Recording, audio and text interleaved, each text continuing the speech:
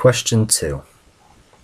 The combination of both the main product and the ancillary tasks was improved by the consideration of the target audience and using a house style. I tried to make all three products consistent through the use of titles in particular. For example, I used the same font types in the titles of the trailer, which were kept the same as the title of the film itself. This was the same font throughout all of the products, which created a more professional package, as in traditional examples of the slasher subgenre. The film title will be the same font throughout.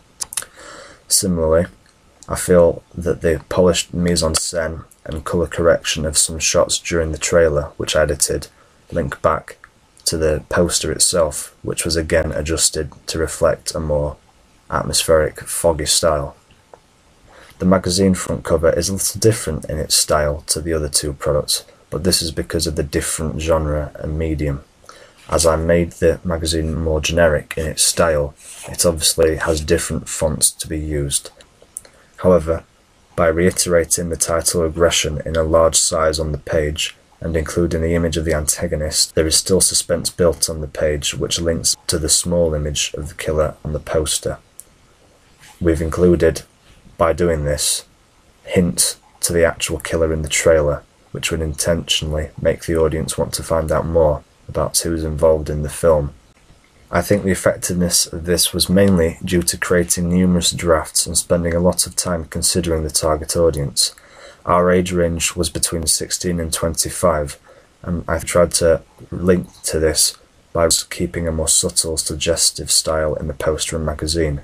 There is no blood, for example, but this is instead suggested by the red font choice. I think this reflects the themes of our film a lot more and linking to the subgenre, but also including our unique selling point, which was the supernatural twist. By considering the target audience and conventions, our product is overall made more professional, but at the same time a little different because of the unique selling point. Question 3. The consideration of the target audience has played a massive part in the development of all three products I created. We considered it as early as the pre-production and research stage.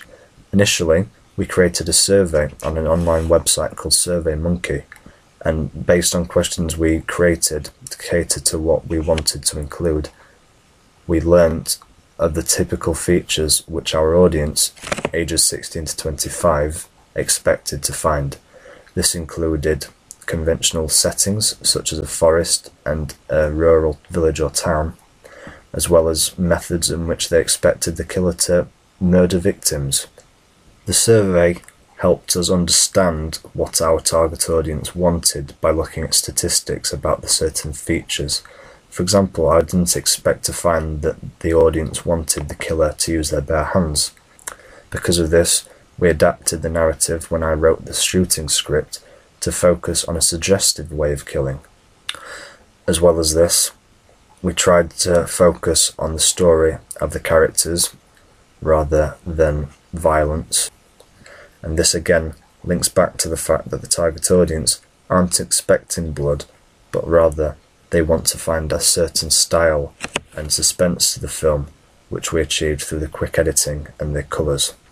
We knew from analysing previous works that we had to include some conventional features, which I've already explained, but after creating the poster and the magazine front cover in particular, we found out certain aspects that needed to be changed.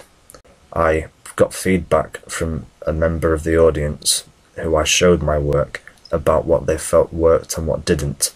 Because of this, I learnt of ways in which I could change the layout of the poster and also fonts I could change and adapt. I also decided to stray away from the fan fiction style of my magazine and focus on a generic format, which I've already explained. And through this, the poster and the magazine have both developed to appear a lot more professional and also include topics and plugs which are more reflective of the target audience we wanted to use. Overall, this development has worked across all three products to make them more effective by being more subtle and also more professional.